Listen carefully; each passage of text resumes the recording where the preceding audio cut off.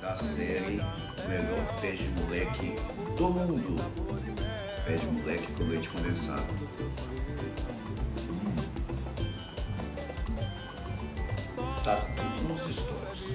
Quer aprender, quer comer? Vai pros stories, vai, vai, vai, vai.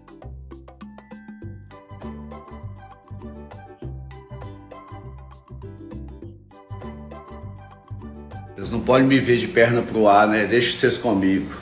Vamos lá, que é simples, tá? O que, que nós vamos usar?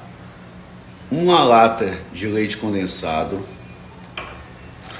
A mesma medida, a gente vai colocar uma lata de açúcar refinada. Se você não tiver açúcar refinada, você pode colocar açúcar cristal batida no liquidificador que ela fica refinada.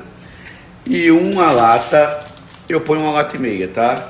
De amendoim torrado e sem pele e sem casca. Então ele é torrado, sem pele, sem casca. E uma colher pequena de manteiga. Basicamente nossa receita é essa, é simples e é o melhor pé de moleque que vocês já comeram até hoje. Pode anotar. Ó, então vamos começar, ó, colherzinha de manteiga. Tá vendo? Isso é colher de sobremesa, tá gente? Não é colher de sopa não, colherzinha de sobremesa.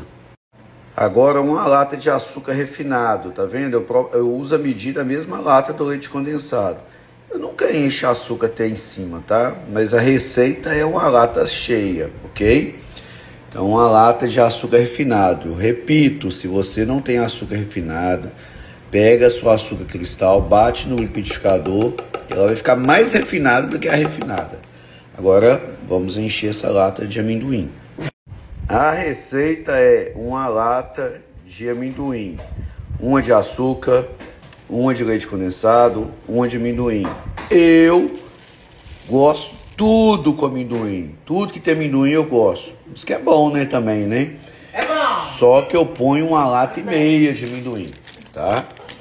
Aí eu vou cá para mais um pouquinho de amendoim, porque eu gosto muito. E a Liliana agradece, né? Diz que amendoim é bom, né? Uma lata e meia de amendoim, ok? Ó, fora do fogo, você já pode mexer o pé de moleque, ó. Você mexe o pé de moleque fora do fogo. Mistura tudo aqui antes de levar no fogo. Tá vendo? Já dá uma misturadinha boa aqui pra juntar todo mundo aqui já. Gente, é fácil demais, é uma receita rápida, fácil, que todo mundo gosta. Bom, eu amo, né? Pé de moleque com leite condensado é um dos, dos sobremesas, um dos doces que eu mais gosto. Aí misturei aqui, agora vamos pro fogo.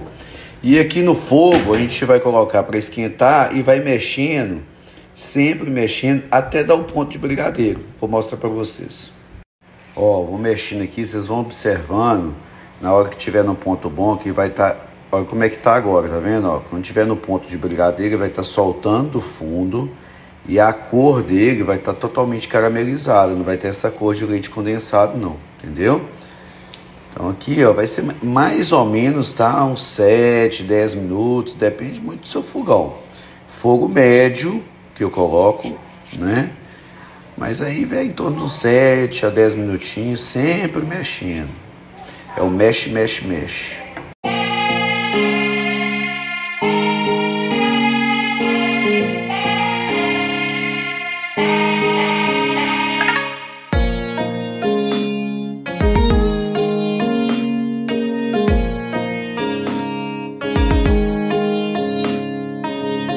Gente, vê quem tá soltando todo do fundo já, ó, olha aqui, tá vendo, olha? Ponto de brigadeiro, olha, diferente do início, ó. Ponto de brigadeiro, já tá mais caramelo, então aqui já tá no ponto já. A gente vai fazer o seguinte agora. No ponto, a gente vai virar agora na travessa. Ficou Acho que essa ponto. travessa ficou grande, hein, Viviane? Ficou demais. Ficou? Eu acho que deve colocar só na metade, porque senão ele vai ficar Dá um muito jeito, fininho. Dá um jeito, dá um jeito. Coloca só na metade, assim, ó, de repente. E vai espalhando aqui. Você não acha melhor só na metade, não? Calma, mulher.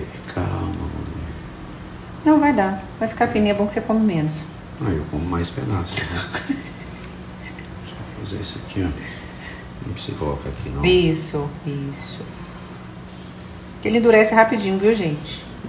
Tem que ser até muito rápido na hora de virar pra E panela. aqui é só esfriar e cortar. Bom, agora ele vai demorar aqui ah, uns 10, uns- entre 10 a 20 minutos mais ou menos, ele esfria e a gente já pode cortar. 10, 15 minutos pode parecer até demo- rápido, né? Mas para muita gente é demorado, porque aqui, ó. não espera não, não espera não. A raspa do tacho é melhor. Vocês são de raspar tacho também? Eu só gosto de raspar também. Gosto de de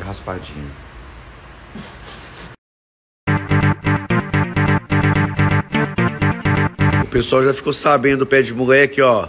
Passaram sobrevoando aqui três vezes já, ó. Eu acho que eles estão tentando descobrir onde que fica.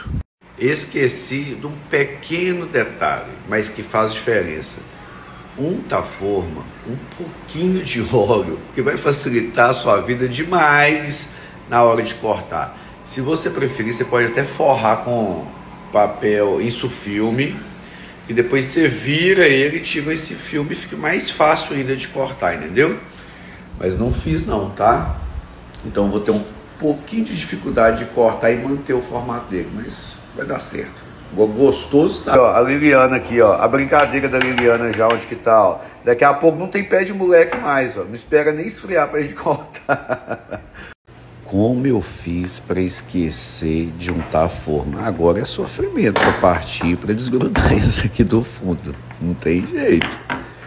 Mas a próxima vez vocês untam a forma ou uma dica melhor ainda, vocês põem um isso filme, passa um pouquinho de óleo nele e põe e vira o, o pé de moleque em cima do isso filme. Depois é só tirar o isso filme da bandeja, virar ele numa tábua e partir, fica muito mais fácil. Mas vamos embora que dá certo.